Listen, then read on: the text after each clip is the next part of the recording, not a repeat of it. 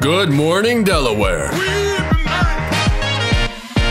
Oh. Welcome to this week's pre recorded worship service from E Zion Fair Baptist Church. your devastation,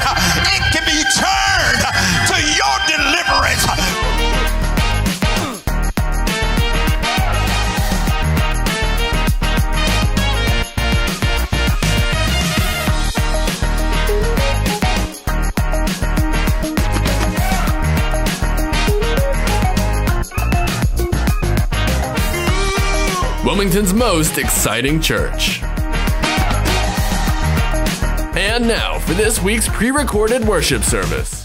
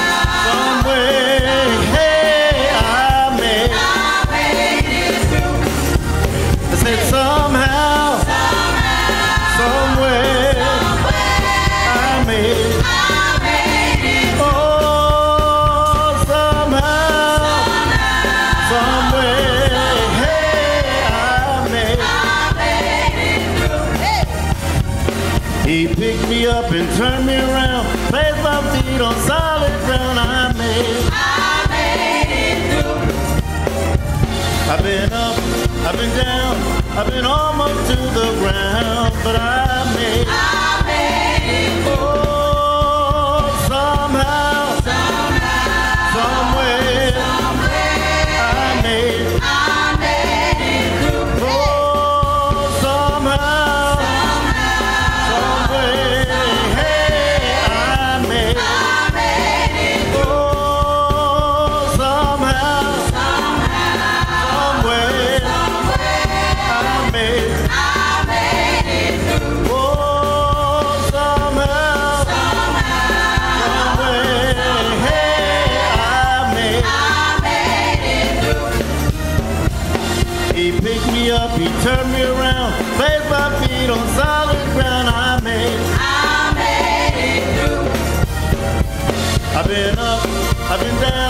I've been almost to the ground, but I made. I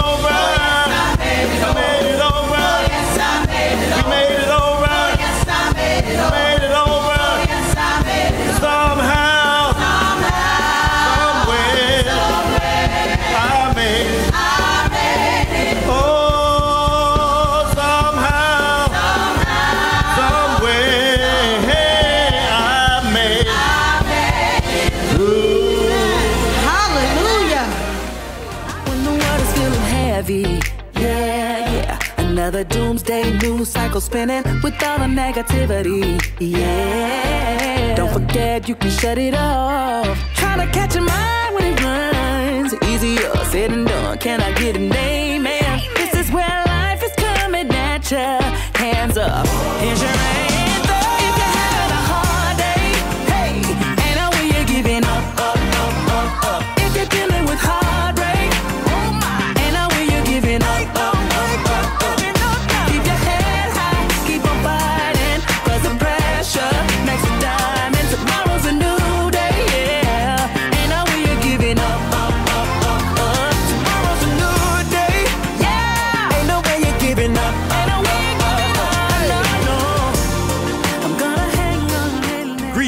Name of our Lord and Savior Jesus Christ. And I say, welcome to the E. Zion Fair Baptist Church, Wilmington's most exciting church, the church that love ya and anything you can do about it. Here at E. Zion Fair, we pride ourselves in following after the heart of God.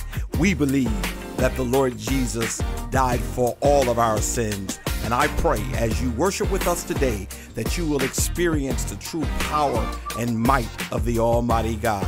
Again, on behalf of the entire church family, we want to say welcome, welcome, welcome. Welcome, welcome to E Zion Fair.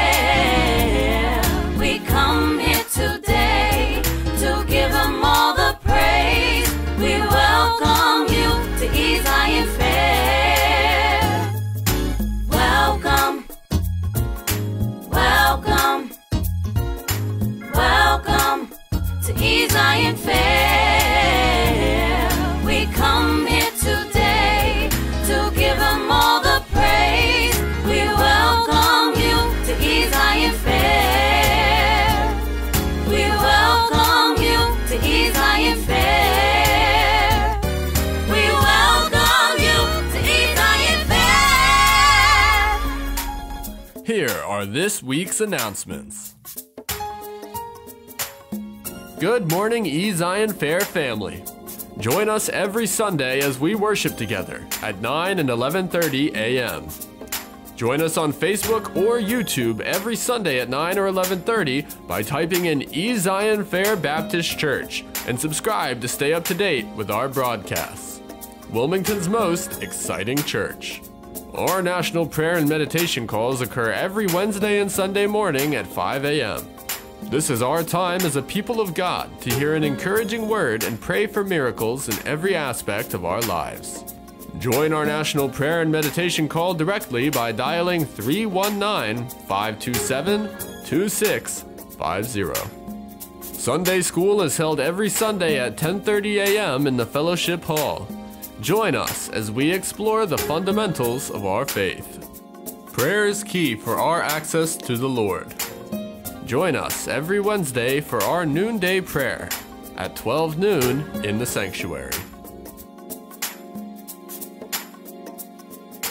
There are four ways to give here at E Zion Fair. 1. Through the PushPay app. 2. Through Zelle with trustees at ezionfairchurch.org. 3. Through check by mail, addressed to 1400 B Street, Wilmington, Delaware, zip code 19801. And 4.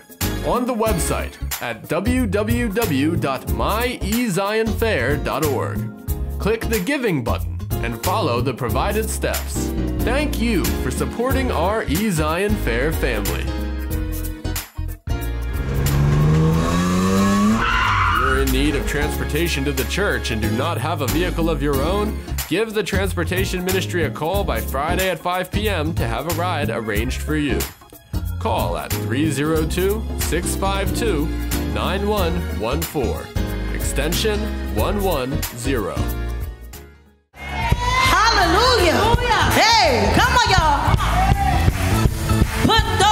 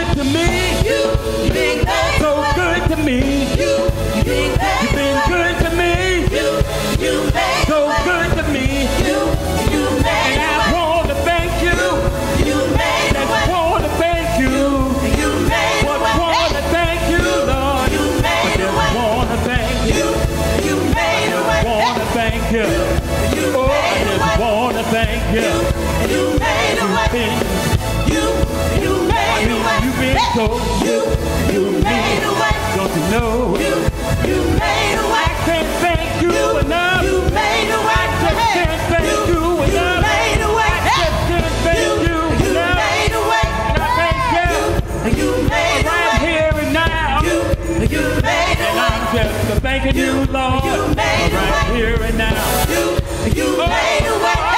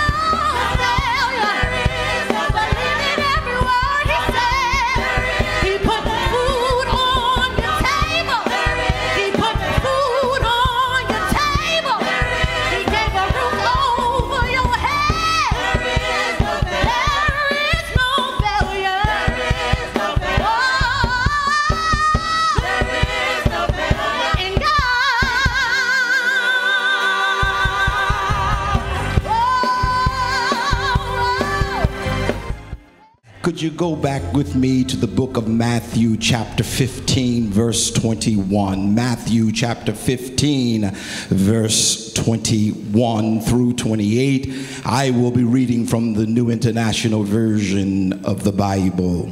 Listen to what it says Leaving that place, Jesus withdrew to the region of Tyre and Sidon.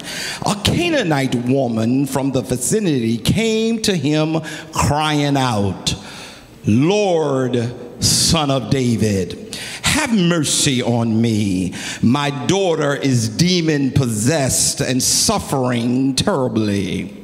Jesus did not answer a word. Some so his disciples came to him and urged, Send her away, for she keep crying after us. He answered, I was sent only to the lost sheep of Israel. The woman came and knelt before him. It's something about praise, y'all. The woman, the, the woman came and knelt before him. Lord, Help me, she said. He replied, Watch this, it's not right to take the children's bread and toss it to the dogs. Listen to the woman's response. Yes, it is, Lord, she said. Even the dogs eat the crumbs that fall from the master's table. Jesus said to her, Woman, you have great faith. Your request is granted. And her daughter was healed from that moment. For just a few moments, I want to preach y'all pastors 19th anniversary today. And here is the here's the word the Lord has given me from this part of the text. A Canaanite woman from the vicinity came and cried out, "Lord, son of David, have mercy on me." And my daughter is demon possessed and suffering terribly. And then down around 26 verse, it says, And he replied, It's not right to take the children's bread and toss it to the dogs. Today, just for a few moments, I want to preach. We've come too far to turn around now. Come on, look at your neighbor and say, Neighbor, we've come too far to turn around now. Now, come on, wake up real quickly and look at somebody else and say, Neighbor, we've come too far to turn around now. Now, let's give the Lord a hand of praise. As pastor and people, over the past 19 years, we've been through hurt and hurtful lies and accusations. We've been through bullies who wanted to bully us. We've been through opportunists, people who just come because the crowd is here. We've been through rejection, misunderstanding, separation, both by death and divorce. We've been through what Norman Whitfield called smiling faces. We've been through plots and we've been through schemes. We've even been through racism. But here's the testimony we did not abdicate the anointing God placed on this ministry. In other words, it doesn't matter what you go through, you got to remember who you serve. Because people come and people go, but God remains the same. I often tell young people that I tutor is this listen, people will marry your success and they will divorce your failure. In order for you to be successful in life, you got to recognize that you and God is in this thing alone. Because some people, I was joking yesterday at the birthday party with one of our deacons, and his wife was just letting him act ghetto at a party. And he had a big old bottle of Diet Pepsi or Coca Cola, I don't know which one it was. And when I saw it, I said, What are you doing? And his first word, my wife didn't say nothing. And I said to her, him, Your wife is paid to agree with you. because you paid a mortgage. You, oh, y'all ain't with me today. But please note this for the record people are with you as long as you're doing what they want you to do. And that's really the teaching of the text. I ain't got time to play with it today. That's really the teaching of the text. Jesus had just completed a dialogue with the Pharisees and Sadducees regarding what was clean and unclean. The religious community had accused Jesus and his followers of hypocrisy. Uh, they had, f- had just eaten, and, and after they completed the meal, they had failed to wash their hands before and after completing the meal. And they were arguing with Jesus, saying, Master, you know what the custom is. And your disciples did not wash their hands. Jesus responded and said, It's better to have dirty hands but clean hearts. Which means there is a difference between religion and relationship. There are people who show up to church every Sunday who don't have no relationship with God at all. But they are religious, which means they know how to wave their hands. They know how to sing the songs of Zion. They know how to say hallelujah at the right moment of the service. But when it comes down to really knowing who Jesus really is, they have no clue. It's right there in the text because the religious community said, You supposed to be Jesus and you have not washed your hands. And Jesus turned around and said to them, Yeah, I hear you with your religious stuff, but I'm about relationship. You want to have clean hands, but I want you to have a clean heart. Do I have anybody with a clean heart today? Immediately following that, can I keep rolling because I ain't got no time? Immediately following that, uh, that narrative and that interact, there's something interesting happens in the text because he's now dealing with religious people and he's told them off and told them to take a chill pill and stop trying to act like you all that because you've been a member of the church forever and you ain't never knew who God is. He said, chill for a minute. I'm going to have to go away. I'm going to have to withdraw myself and get myself restricted. But as he was withdrawing himself, uh, the Bible teaches us in this text that a crazy woman who was a Canaanite. Oh, I ain't gonna help you. I ain't gonna help you preach today. And, and, and this crazy Canaanite woman runs up on him. Now, now, now, now, now, now, now, now, don't run up on the wrong person because because you got some folks strapped and you don't want to be from somewhere else and just run up on a brother. Do I got anybody here know what I'm talking about? And and and and and and and and, and, and this crazy woman, she runs to Jesus and she wasn't from the religious community and she says to him, "Son of David, help my child is grievously vexed with a devil." Can you see? Can you see Jesus' dilemma? He was just dealing with the religious community, the Jewish, the Israel folks. But now we got a Canaanite woman, a woman who's considered unclean, a woman who didn't show up to 1400 B Street, a woman who may be on 4th Street and have not been delivered yet. And Jesus is on his way to get more strength because of dealing with the religious people. This woman. I need you, Jesus. What are you going to do now, Jesus? Are you going to act like the folks from your community? Or are you going to act like the God who sent you? What are you going to do, Jesus? And I, I looked at the text because today I didn't bring you a prepared sermon, but I'm preaching a sermon, one of the first ones I preached at E Zion Fair. What are you going to do, Jesus? Well, Jesus says, while y'all worrying about clean hands, I'm trying to clean up some hearts.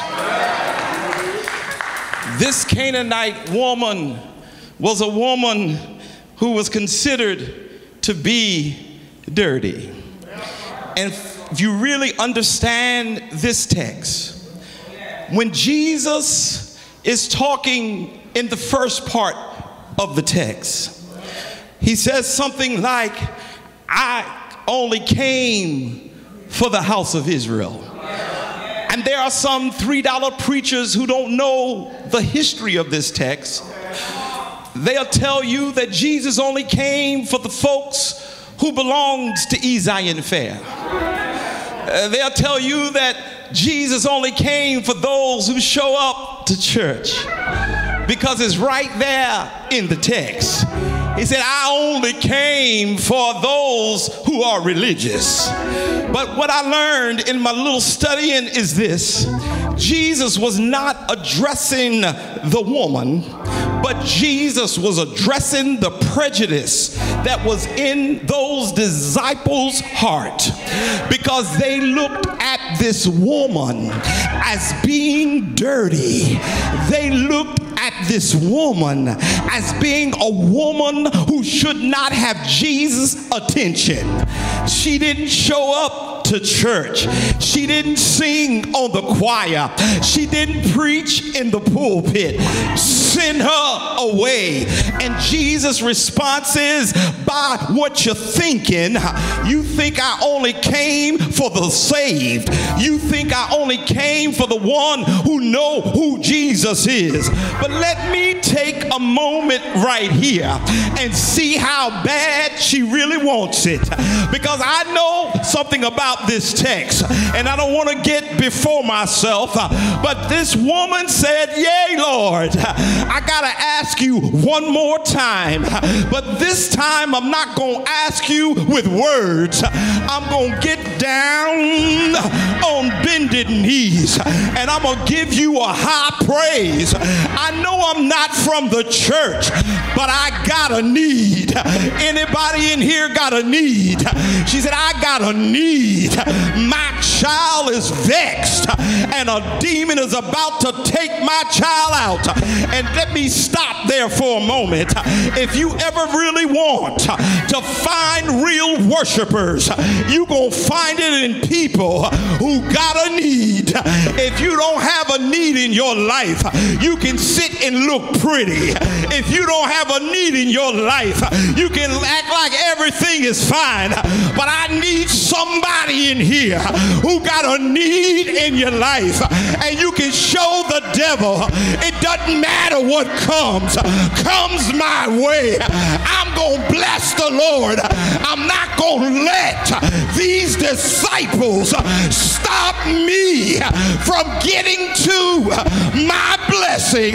But wait a minute wait a minute.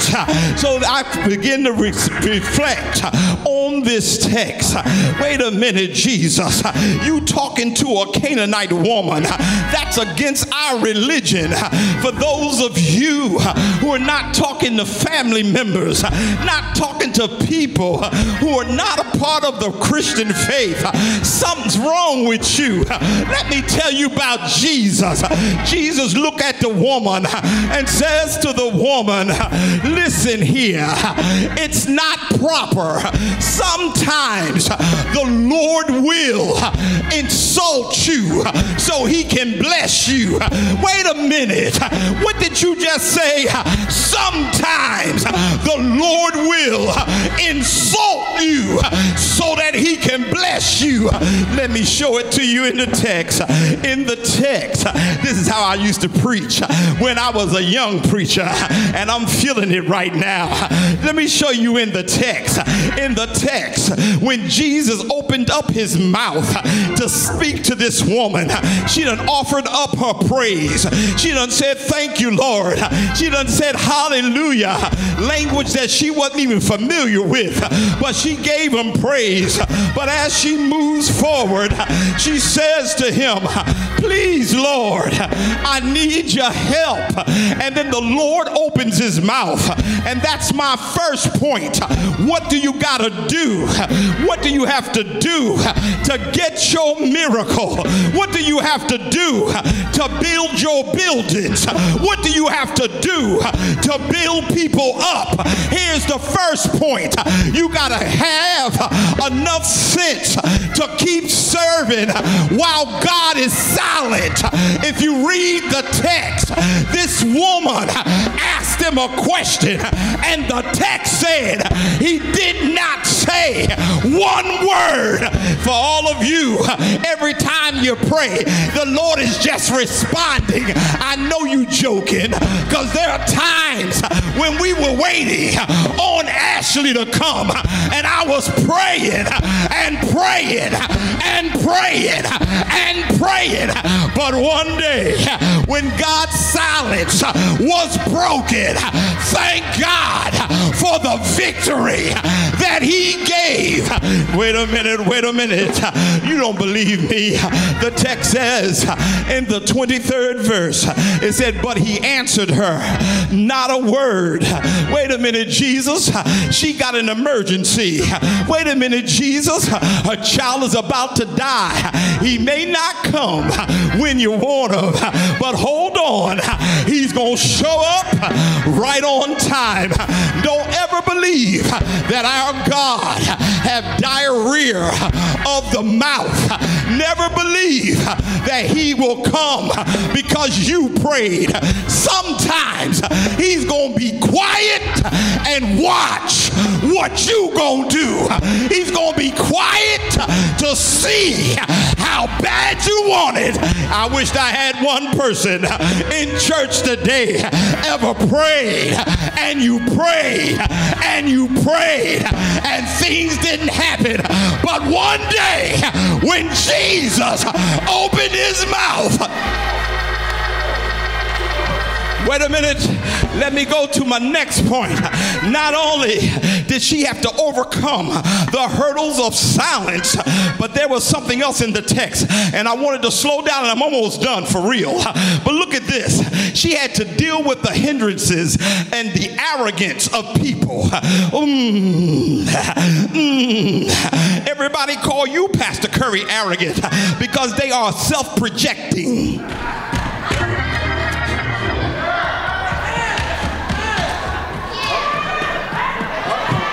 Say? Why he up there shouting? Pastor Curry, that's what all I hear. Matter of fact, yesterday at the party, somebody say, gave a nice salutation to Reverend Wilson, and they said that one day she was out serving the community, and a woman like from Canaan gonna come up. You from Ezion Fair? I hate that place. She said, the blood of Jesus. The blood. Because you know what? It's a price you got to pay when you are under an anointed person. There's a price you going to pay because you got a visionaire. There's a price people going to hate you who don't even know you. But wait a minute. Listen to verse 23, and I finish because I ain't bring no change of clothes. It's anniversary, so I want to wear the same outfit both services. But look, check this out. Check this out. Verse 23 says, verse 23 says, and the disciples said, Send her away. Why do you send her away? Because she's crying after us. Baby, baby, you ain't that grand. Ain't nobody crying after you. Ain't nobody worrying about you. She was trying to get to Jesus. And my brothers and sisters, you got too many Jesus blockers in church. Oh, I said something right there. You got too many Jesus blockers in church because they'll block you from your blessing. They'll make you go somewhere else. But if you really want to get to Jesus, you're going to have to get past all of that craziness. But then I'm done. After I give you my last point hindrances, arrogance. They thought this woman was out after them, but this woman was after Jesus. Somebody came in here, maybe not today, but a few days ago, a few months ago, a few years ago, who was strung out in crack, who was messed up. They didn't come looking for Pastor Curry. They didn't come looking for the deacons. They didn't come looking for the trustees. They didn't come looking for the, the, the ministers. But can I tell you what they came looking for? They came looking for Jesus. That's why we got to usher people into the presence of Jesus. We got to push people to love Jesus. We got to push people to understand if it, Jesus can't do it. But here's my last point, and I'm done. Woo. See, that's why I stopped preaching like this. Because when I first started out, I was on second gear every time, but it wore me out. Here's my final point. For those of you watching us, this is not every Sunday, so pray for me. Not only did she have to overcome the hurdle of God's silence, of the hindrance and arrogance of people, but also God's response. This is where I was trying to get to, but I almost jumped to it too soon. Look at verse 28, 26. Verse 26. Mm. Verse 26, the business said, Take your time. No, can't take my time. Verse 26 says, Listen to Jesus talking to this woman. I got a need. I believe in you. I trust you. You've been quiet. And when you open your mouth up, listen to what he says to her. It's not proper to take the children's bread and give it to the dogs. Jesus, you could have phrased that better. Jesus, she trusts you. Jesus, why would you come out of your mouth and say that? The people are not going to like you. But listen to me carefully. This woman made up her mind. I'm not turning back. Can I testify today? I made up my mind. I'm not turning back. Can I testify for this church? We made up our minds. We're not turning back.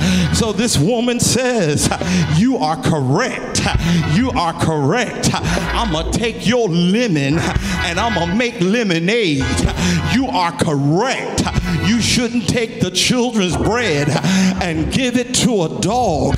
But I tell you what you need to know that even the crumbs that falls from the master's table, the dog get the crumbs. Any way you choose to bless me, I will be satisfied. Any way you choose to bless me, if I gotta crawl like a dog, I'll crawl like a dog. Any way you choose to bless me, I'll be satisfied. And listen to what she said. Yes, I may be a dog. Yes, they may see me as being lesser. Yes, I may be seen as an animal, but I know that I know that I know what I need and what I need only you can provide it. So I'm not going to let what you just said get in my way. And guess what Jesus did? Jesus blessed her. Jesus elevated her. If you can stop letting people, if you can stop letting hindrances get in your way, God, He can bless you. God, He can elevate you. Do I have anybody in church today who can tell the truth? There were times you wanted to quit. There were times you wanted to give up.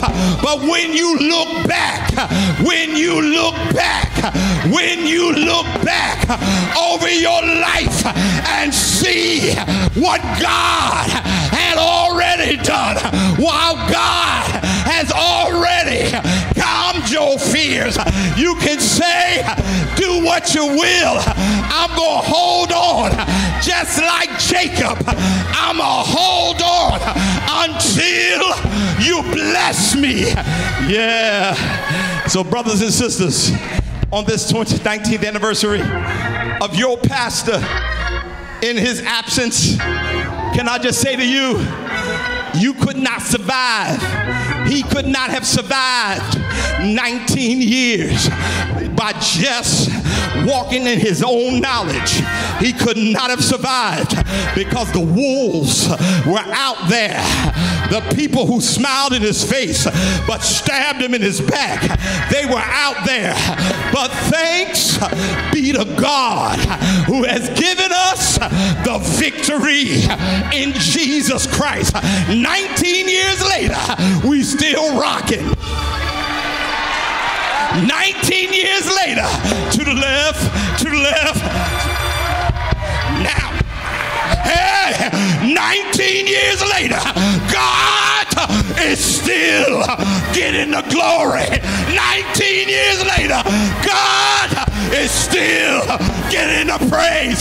Some have come, some have gone, but thanks, thanks, thanks be to God who has given us. Everybody standing.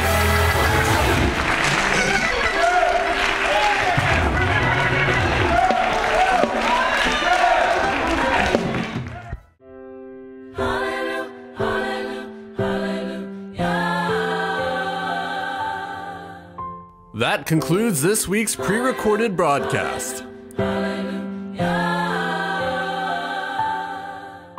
Join us every morning for our 9 a.m. and 11:30 a.m. services.